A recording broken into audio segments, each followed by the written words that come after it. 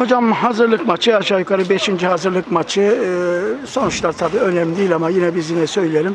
Maç 4-1 bitti. Evet e, sporcularınızı denediniz. Yorumlarınızı bir alalım. Ee, neler söylersiniz taraftara? Zaman da yaklaştı. Evet buyurun Sayın Hocam.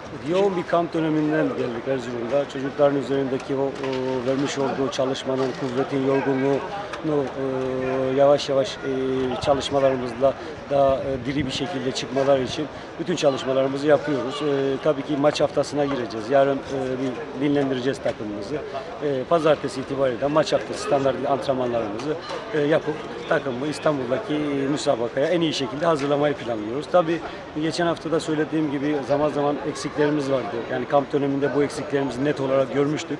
E, şu anda da 3 oyuncu takviyesinde bulunduk. Protokol olarak anlaştık. Hasan Bey ve Recep Müftüoğlu eşliğinde. Anlaşma tamamlandı ama bugün e, tabii ki onları kullanamadık. Zaman biraz zamana ihtiyaçlar olacak. E, oyuncu daha, üç oyuncu daha katmayı düşünüyoruz. Çünkü eksiklerimiz var dediğim gibi. Kampta çok net çıktı bu eksiklerimiz. Onları da kattıktan sonra Pazar Spor taraftarlarına, Pazar Spor camiasına diri, güçlü, 3. lige göre bir e, olması gerektiği gibi bir diri bir takım izletmeyi planlıyoruz. Tabii ki de iyi sonuçlar almayı da planlıyoruz. Dediğim gibi geçen hafta da İstanbul'a gideceğiz bu hafta. İstanbul'daki e, her zaman ben futbol oynadığım dönemlerde de böyleydi. Evimiz gibidir. Oradaki bütün taraftarlarımızı oraya bekliyoruz. İnşallah onların da e, vermiş olduğu emeklere karşılık iyi bir sonuçla, puan ya da puanlarla dönmeyi düşünüyoruz. Lige iyi başlamayı düş planlıyoruz. Çok teşekkür ederim. Değerli izleyicilerimiz evet bugün 5. hazırlık maçını yaptı Pazar Spor 5. hazırlık maçında.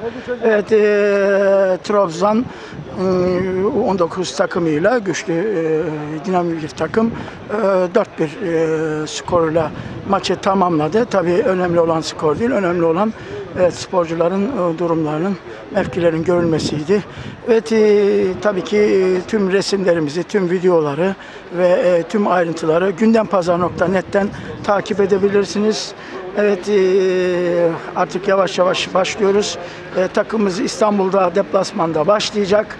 E, daha sonra e, dediğimiz gibi kendi e, saha ve seyircisiyle evet, Efeler maçıyla buluşacak. Efeler de kolay bir maç değil. Evet böyle e, iki, iki haftalar, üç haftalar biraz zor geçiyor ama yine de kendi e, ve seyirci önümüze evet ikinci haftada çıkacağız. Bu hafta bu arada Pazar Spor'unda bir konseri olacak. Bunu da buradan vurgulayalım. 14 Evet e, 14 e, Eylül itibariyle de Pazar Spor e, güzel bir açılışla evet e, lige merhaba e, demek istiyor.